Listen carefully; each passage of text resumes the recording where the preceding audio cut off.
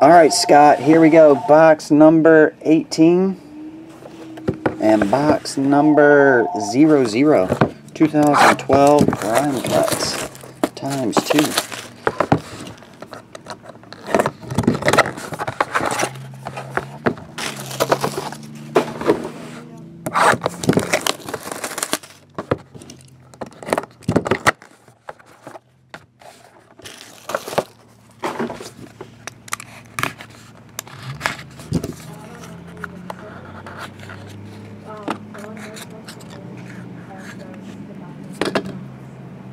We have Jesus Montero, rated rookie. Autograph. That one is numbered 1 of only 10. Got a couple short prints out of the first two boxes.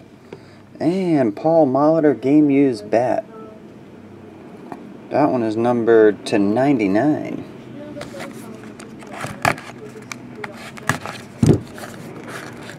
This one has a redemption. Significant signatures, Tony Perez.